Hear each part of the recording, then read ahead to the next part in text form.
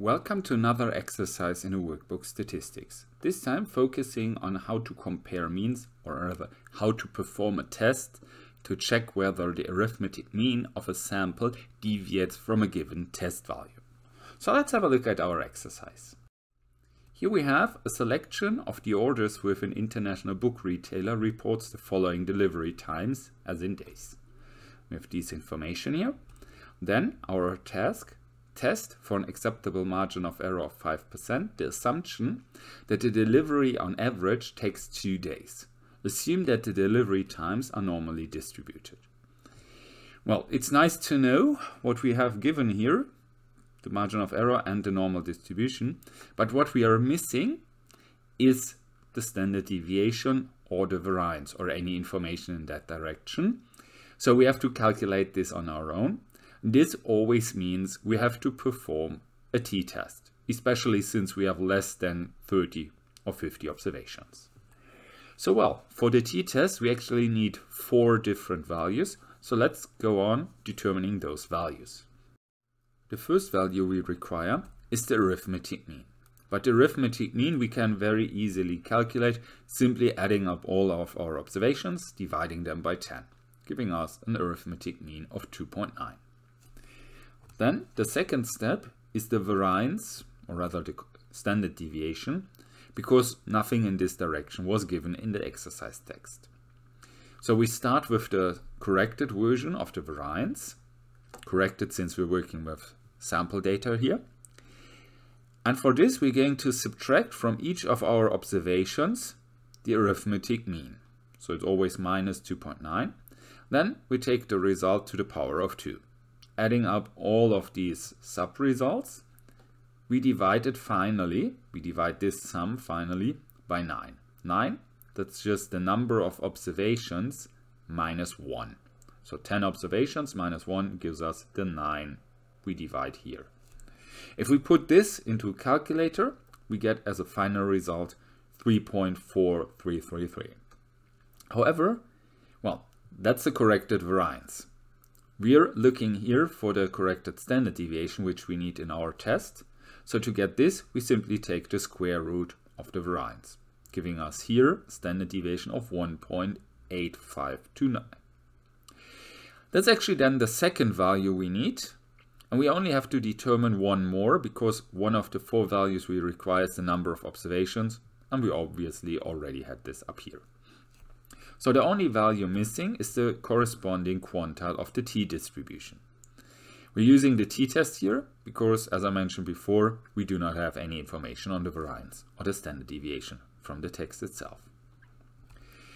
The corresponding quantile for a two-way or two-sided t-test is tn minus 1, 1 minus 1 half alpha.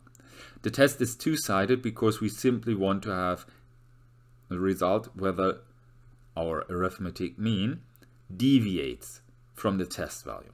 If we were to test whether it's larger or smaller, we would have to conduct a one-sided test. Here it's just about the deviation, so we're going to use the two-sided test. So what do we do with this? Well, the n, that's the 10 observations, so we have 10 minus 1, the first part here is 9. Then we have 1 minus 1 half alpha.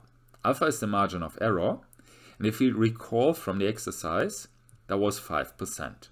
So we're going to calculate 1 minus 1 half times 0.05, yielding us here a value of 0.975. So in the table for the t-distribution, we look up the value t 9.975. And we find a value of 2.2622. So that's our test value, uh, our reference value. That's the value we are later on comparing our test statistic with. So well, that's everything we have to do in preparation for conducting the test. So I'm just going to summarize those results in addition with the number of observations and the test value we're comparing with. Then to actually do the test, we need a test statistic. For the t-test, this is given as the square root of the number of observations, so here the square root of 10, times the difference between arithmetic mean and test value, so 2.9 minus 2, divided by the standard deviation. If we calculate this whole expression, we get as a result for the test statistic 1.536. That's the value we are now going to compare to our reference statistic. That's our test decision. So we compare the test statistic on this side with the reference statistic on that side, and we see that our test statistic is definitely smaller. Whenever this is the case, whenever we have a smaller test statistic, we cannot reject the H0 hypothesis, we have to keep this. And H0 means there's no significant difference between arithmetic mean and test value. So those are not significantly different.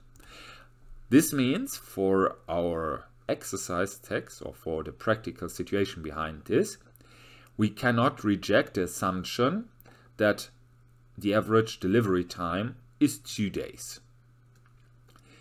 Could be larger, could be smaller, but those are just random fluctuations. We have to assume this is more or less two days. Well, that's then everything there is to this exercise. I hope you enjoyed it. I say goodbye and see you next time.